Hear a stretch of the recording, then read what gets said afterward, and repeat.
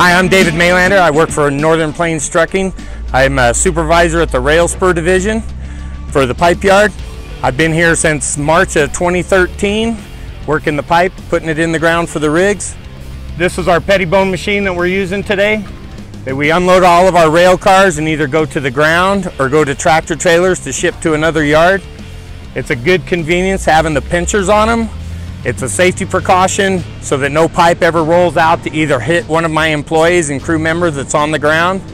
They don't always ship it what they call in bundles. These are bundles of five. See how that one was not? Yeah. So when him having that with those pinchers on it is just another great safety precaution for that pipe not coming off of that, that loader right there. It's kind of a hit and miss game. We never know how many cars are coming. We never know how many we're getting every day. And they come in in big surges because when they load them out at the plant or the factory, they don't do just one or two cars. They do a whole string of cars, just like a coal train. When they do it, we're going to do a whole bunch at one time and then, then come in and hit us. The, the pipe varies. We have pipe that sometimes ranges between 30 foot. The pipe he's carrying right now averages between 42 to 45 feet long.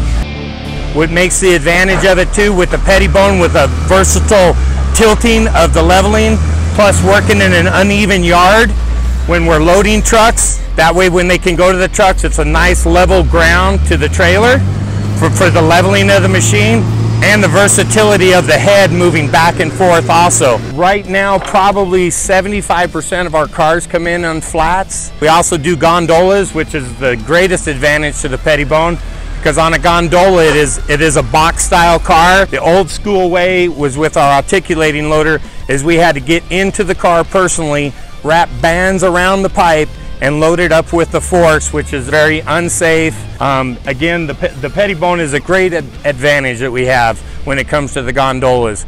And you have to dip down inside of the car to pinch the pipe out and bring it back out safely without it all falling. It is a great convenience to have.